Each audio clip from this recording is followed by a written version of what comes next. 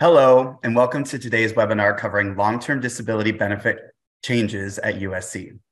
Today's date is June 16th, 2023, and today's webinar is expected to run approximately five minutes long.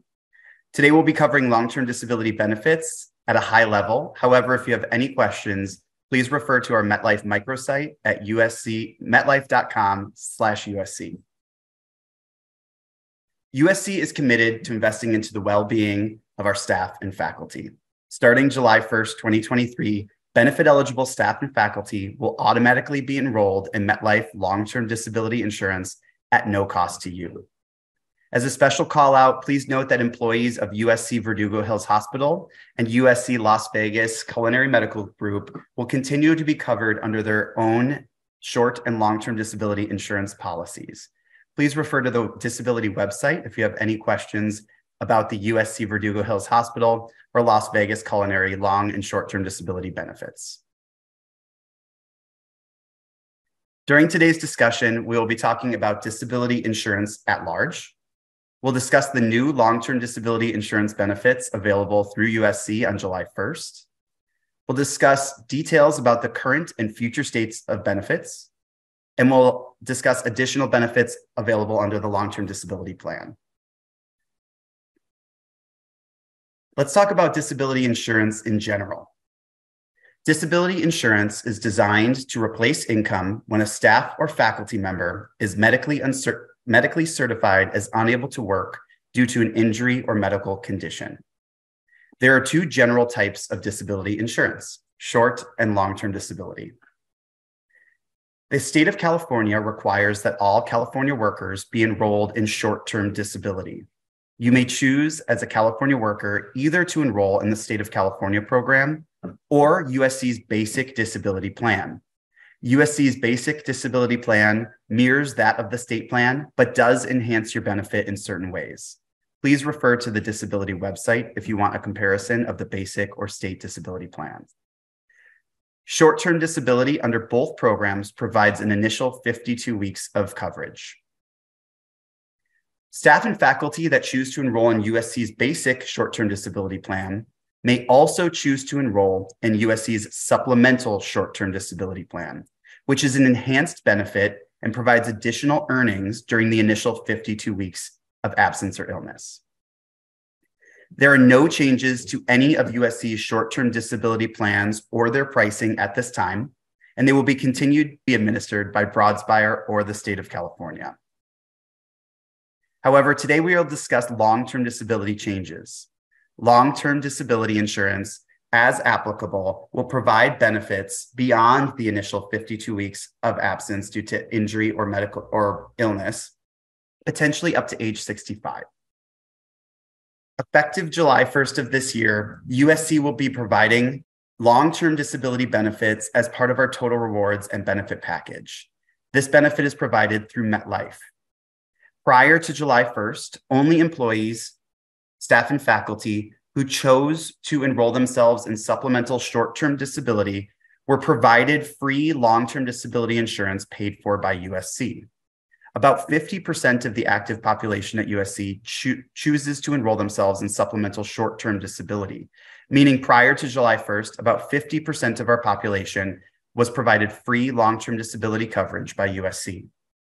However, after July 1st of this year, all eligible staff and faculty will be provided long term disability insurance at no cost to them.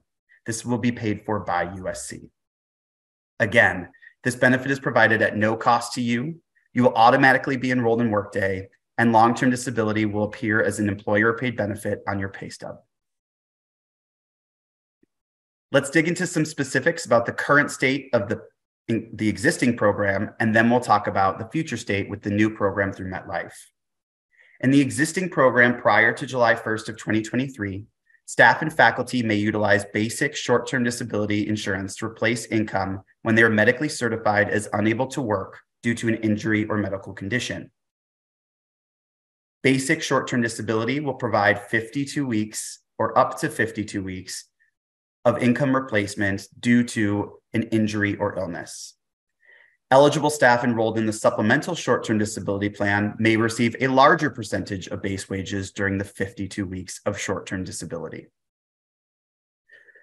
Staff and faculty who elected the short term disability plan, so about 50% of our employees, were provided with long term disability insurance, which would provide extended coverage beyond the initial 52 weeks of absence due to injury or illness. And this plan would cover 70% of monthly, ba- monthly wages for totally disabled employees. Totally disabled means you are 100% unable to do your or any occupation beyond 52 weeks of absence. That means you are not able to, to perform your own job or any job in order to qualify for benefits. If an employee was on the state California plan or basic short term disability plan, not enrolled in supplemental short term disability, they would do not have any long term disability coverage at this time, and instead would need to work through government agencies to find Social Security benefits available to them.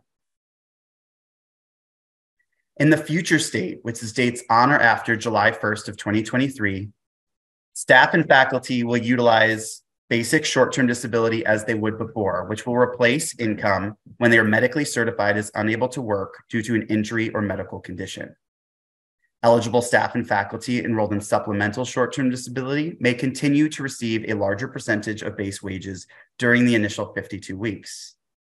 However, we are no longer tying long-term disability benefits provided through USC to your enrollment in supplemental disability. Eligible staff and faculty will now be enrolled in MetLife's long-term disability insurance, which is paid for by USC. It covers absences beyond 52 weeks and will pay 60% of monthly base wages for full and partial disabilities up to $15,000 per month. The important nuance here is that our plan will now cover partial disability benefits. Partial disability means that you have a loss of earnings or are unable to do your job at 20% or more.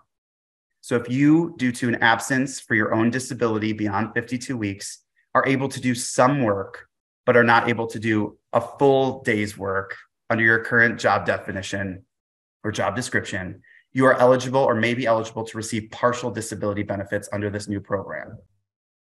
This plan will pay up to $15,000 per month, which fully protects earnings up to $300,000. Employees earning up to $300,000 will be fully covered under the long term disability plan paid for by USC. If you are an employee making above $300,000 and would like to protect your earnings above 300,000, we will make a voluntary benefit available to you in 2024 so please stay tuned. There are additional benefits available through MetLife under this long term disability plan. Those include retraining programs, vocational analysis, Social Security specialist services, job modification or accommodation services, nurse consultant or case manager services, or financial incentives. Please reference metlife.com slash USC to review any of these additional benefits provided under the LTD plan. Lastly, as an important call out, if you are a staff or faculty member currently receiving short term or long term disability benefits that occurred before July 1st of this year, you will remain on the existing plans administered through Broadspire or through the state. This benefit is available to any new disability occurring on or after July 1st of this year. If you have any questions about your disability benefits or these changes that we discussed here today, please contact the HR Service Center at 213 821 8100 or uschr.edu. Thank you and fight on.